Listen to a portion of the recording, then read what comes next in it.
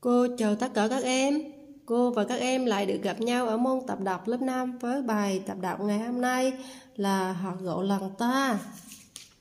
Và hôm nay các em sẽ học bài thơ học gỗ lòng ta của nhà thơ Đặng Trần Đen Khoa và Trần Đen Khoa khi, và đã làm thơ khi mới 7 8 tuổi và ngay lập tức đã có những bài thơ được mọi người yêu thích hoặc gọi lòng ta là một trong số bài thơ hay nhất của anh được phổ nhạc và bài thơ sẽ giúp cho các em hiểu rõ hơn cuộc sống lao động và chiến đấu hầu hùng của dân tộc ta trong cuộc kháng chiến chống Mỹ xâm lược. Cô và các em cùng vào bài tập đọc ngày hôm nay nhé. À, bài tập đọc này thì các em sẽ đọc với cái giọng là nhẹ nhàng và tình cảm thiết tha. Và đây là bức tranh minh họa nội dung của bài tập đạt ngày hôm nay. Các em lắng nghe cô đọc bài thơ qua một lần nhé.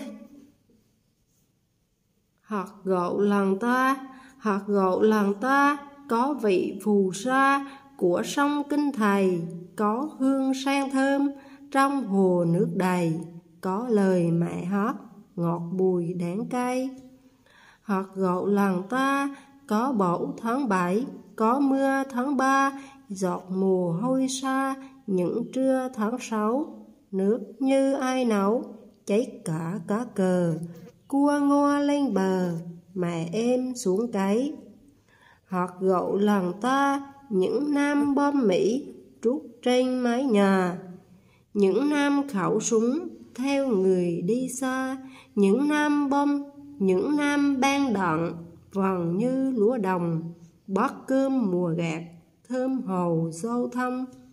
Hoặc gộ làng ta, có công các bạn sớm nầu chống hạn vụt mẻ miệng gầu, trưa nầu bát sau lúa, câu, rót mạc.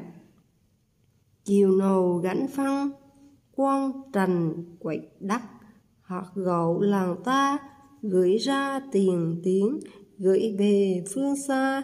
Em vui em hót hoặc gọi làng ta theo Trần Đen Khoa à, bài à, thơ này cô sẽ chia thành à, năm của thơ. Của thơ thứ nhất là từ đầu cho đến chỗ là ngọt bùi đáng cay. Của thơ tiếp theo thứ hai là tiếp theo cho đến chỗ là mẹ em xuống cái. Và của thơ thứ ba là tiếp theo cho đến chỗ là thơm hồ dâu thông của thơ thứ tư là hoặc gỗ lòng ta cho đến chủ là quan trành quậy đất và của thơ thứ năm là phần còn lại. Và bài tập đọc này thì các em cần phải hiểu nghĩa của một số từ ngữ sau. Thứ nhất là là từ um, kinh thầy. Kinh thầy đây có nghĩa là sông chia nước của sông Thái Bình trả qua tỉnh Hải Dương. Tôi gọi là kinh thầy và hồ giao thông tức là đường đầu sau dưới đất để đi lại được an toàn trong chiến tranh được gọi là hồ giao thông và tranh hay còn gọi là dành số dụng cụ đon bàn tra nứa, đá phản có thành dùng để vận chuyển đất đá, phân trâu bò, vân vân. Chúng ta gọi đó là là tranh. Bây giờ Dạ, cô và các em cùng chuyển sang phần à, trả lời các câu hỏi trong sách giáo khoa nhé. À, câu hỏi số 1 là đạt khổ thơ một em hiểu hoặc gỗ được làm nên từ những gì? À, chúng ta xem khổ thơ một thử là hạt gỗ được làm nên từ những gì nào? À, đó là hạt gỗ được làm nên từ tinh túy của đất, nhớ là vị phù sa này, và của nước là có hương sang thơm trong hồ nước đầy và có công lâu của con người của cha mẹ. Đó là có lời mẹ hót, ngọt bùi đáng cay. Đó là hạt gỗ được làm nên từ những điều đó.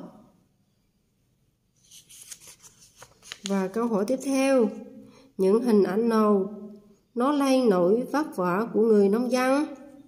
Câu hỏi số 2 là những hình, hình ảnh nào nó lay nổi vất vả của người nông dân nào?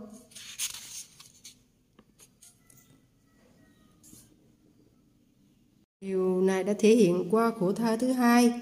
Chúng ta đặt khổ thơ thứ hai nhé.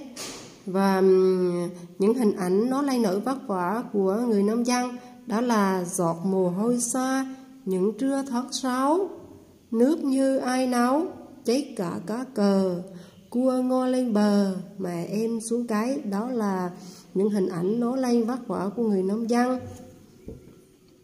Và hai dòng cuối của bài thơ, của khổ thơ đã vẽ lên được hai hình ảnh trái ngược là cua thì sợ nước nóng phải ngo lên bờ.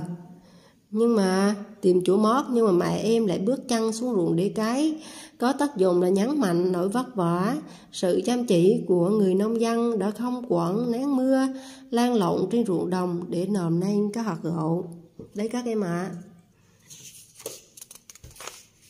và câu hỏi tiếp theo, số 3 là tuổi nhỏ đã góp công sức như thế nào để làm ra hạt gạo?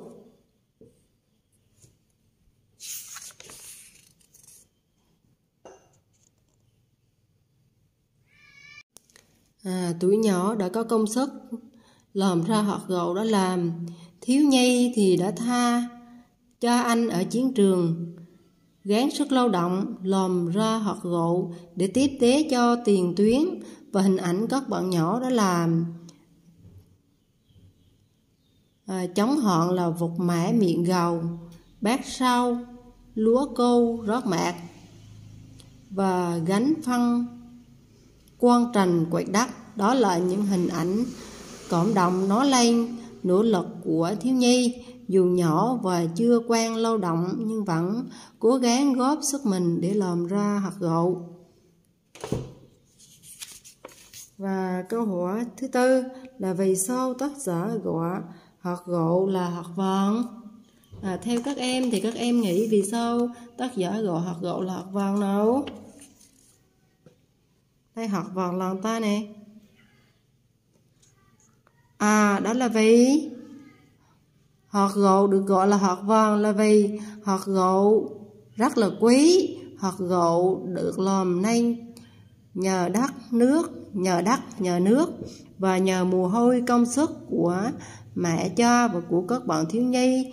Và hạt gạo đã đáng góp vào chiến thắng chung của dân tộc, nên tác giả gọi đó là hạt vàng và câu thứ năm là học thuộc lòng bài thơ.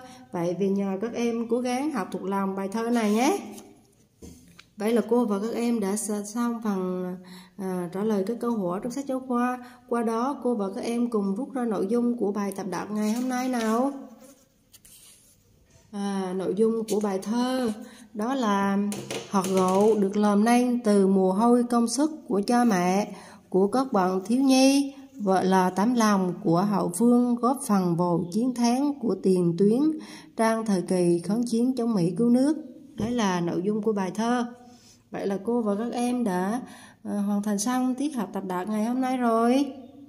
Các em về nhà nhớ học thuộc lòng bài thơ, trả lời lại các câu hỏi và ghi nhớ nội dung. Cô chúc các em học tập thật là tốt. Chúc các em xem video vui vẻ. Các em xem video thì nhớ like, đăng ký kênh ủng hộ cô nhé. Để cô có động lực làm những video tiếp theo. Cô tạm biệt và hẹn gặp lại các em.